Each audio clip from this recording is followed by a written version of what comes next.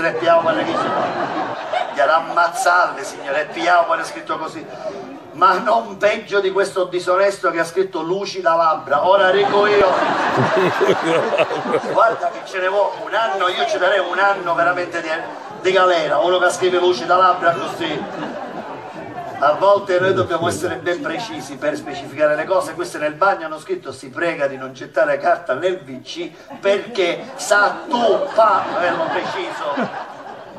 Ora guardate un caso umano, qua davanti una, una porta una signorina ha scritto non scotolare la tovaglia fuori perché vanno le middiche sul balcone di Carmelina e i palombi mangiano e cacano la figlia di Carmelina, giustamente.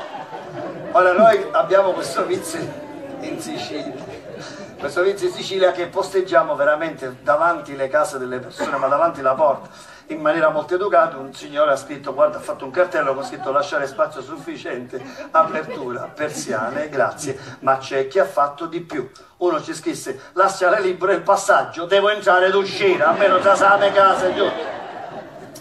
Questa foto che arriva riguarda il parcheggio di San Vitolo Capo, dico io ve la lascio leggere a voi direttamente.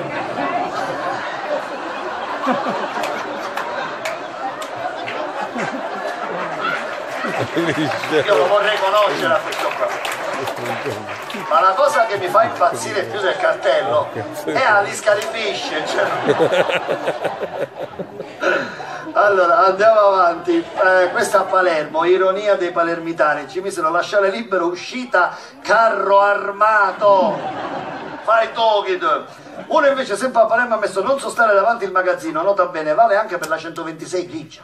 Ci vede che qualcuno si c'era a posteggiare da avanzi tipo che era capisci il suo posto preciso.